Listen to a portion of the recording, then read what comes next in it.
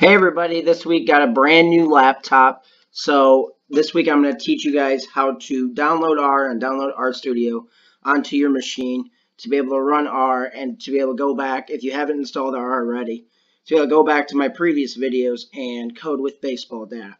So to get started, we will go on rproject.org and that's where we'll get the mirror for R. So now to download R, we'll click on this link and it gives us basically CRAN mirrors that are based on you know various locations. So we'll go down to USA. We can pick any of these CRAN mirrors that I'm nearby. So we'll just pick uh, Washington University St. Louis and then we'll download it for our machine. So we'll say download R for Windows since this is a Windows and you'll read the subdirectories.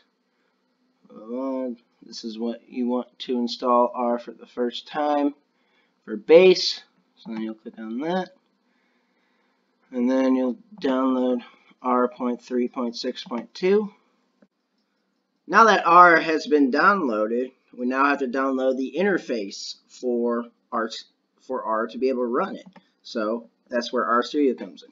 So you can go on rstudio.com slash products slash rstudio slash download. I will, again will leave a link for both of these for people who can get to it quicker.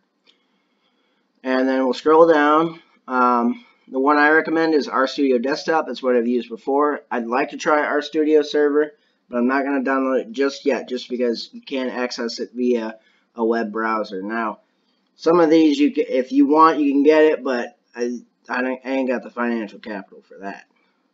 So we'll do Download RStudio Desktop. Download RStudio for Windows.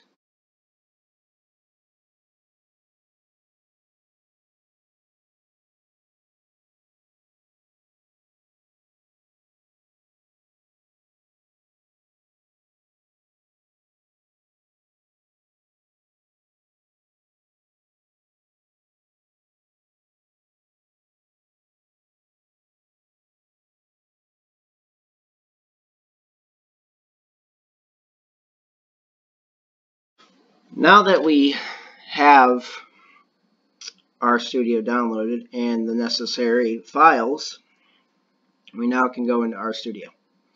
So to kind of change this layout, you go to Tools, Global Options, Appearance, and you can select what kind of appearance you want here.